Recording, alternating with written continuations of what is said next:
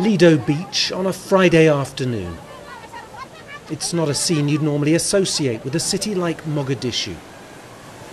But the crowds here are evidence that Somalia's war-torn capital is changing.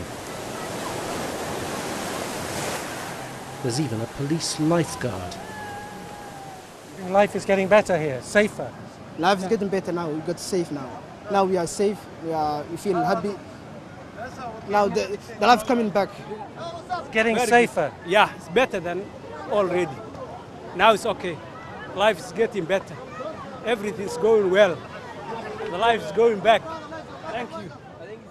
Mogadishu still faces some big security challenges, but what this packed beach tells us is quite how confident, how optimistic people are about the future now.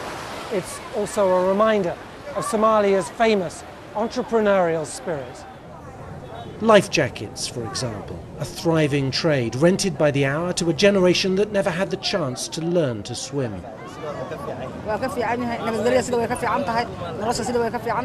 Life's better now, says Mariam Hassan. Before there was no work for us here at the seaside, but as security improves, everything gets better.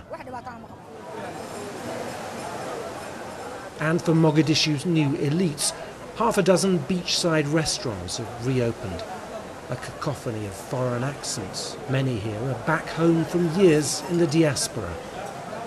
I love it. It's really nice. I feel like they made a lot of improvements here.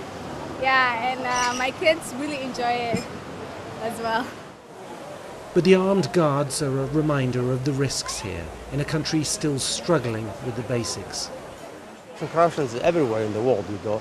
But here, I mean, I mean, what do you expect? I mean, 23 years of uh, there's no laws. I mean, has to be corruption. It's a big-time corruption. But again, it's getting better. I mean, over the years, I mean, things will change.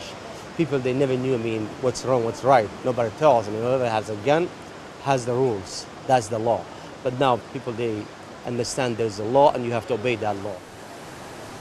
So peace and progress here on Lido Beach.